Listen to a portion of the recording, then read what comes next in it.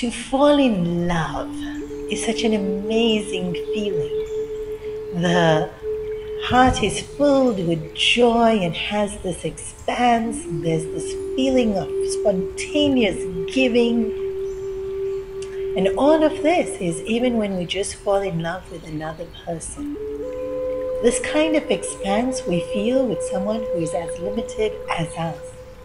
Imagine how much more the expanse of our heart would be if we fell in love with the infinite, if we fell in love with the divine itself, the source of all life.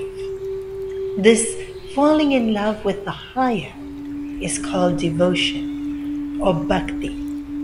Bhakti is explained in the scriptures as a virtue, as an internal asset, and also as a prerequisite for our spiritual involvement.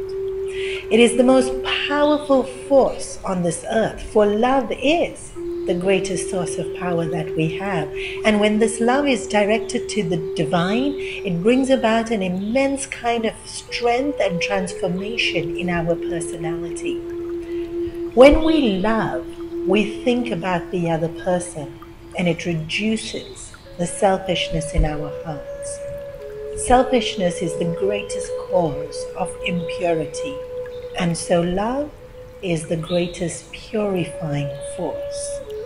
And when we love the divine, when we love the source of all life, then the one we love is everything else.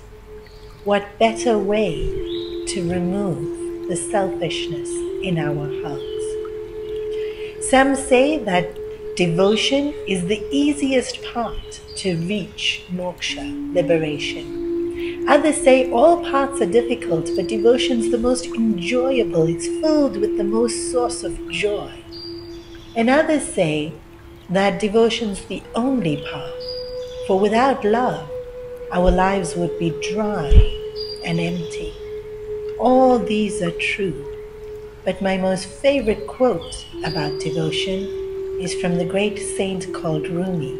He says, Fall in love, stay there.